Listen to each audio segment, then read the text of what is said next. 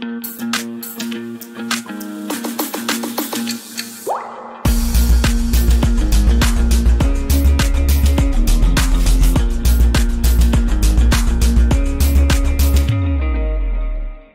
guys welcome back to my channel.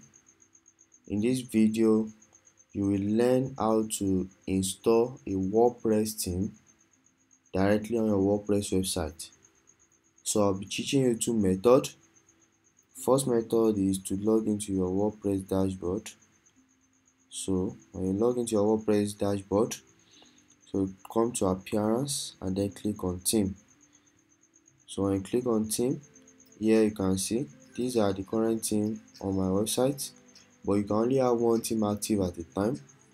So to add a new theme all you have to do is to click on add new then click on upload theme so here i'm going to choose the file of the theme from your web from your uh, laptop. And it has to be in zip file.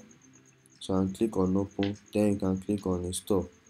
So this is the first method you can use to install a WordPress theme. But now the problem with this method is that some of the time um, your theme file might be too big, your zip file might be too big, and uh, you might keep encountering uh, errors when you are trying to install the theme. So this which is why I'm going to teach you the second method. So the second method is to install the theme directly through your web uh, your hosting cPanel. The first thing you have to do is to log into your hosting cPanel. So for me, I'm using Namecheap. So go to hosting list and then click on go to cPanel. So when you click on go to cPanel, it's going to log in to um, to your cPanel account. Your cPanel is like this. It's going to if you are using GoDaddy, it's also going to show something like this.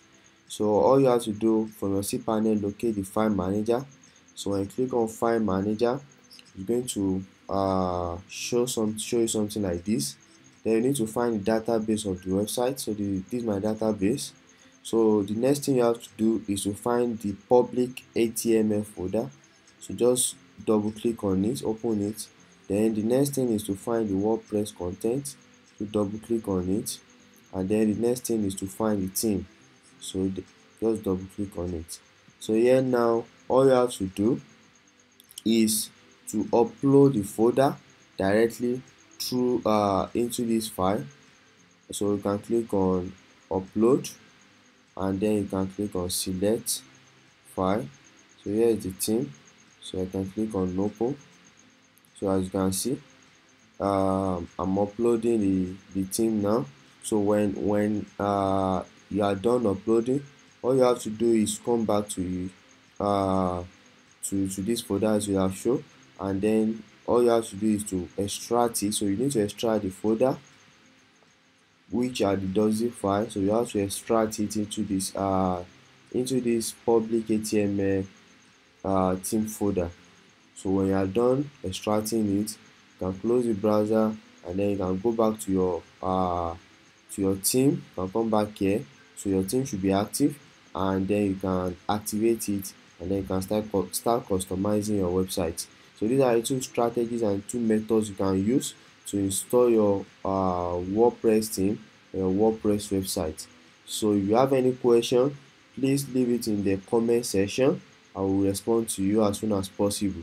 And if this video has been helpful to you please subscribe to my channel and turn on the notification bell so you get notified anytime i publish new video. Have a nice day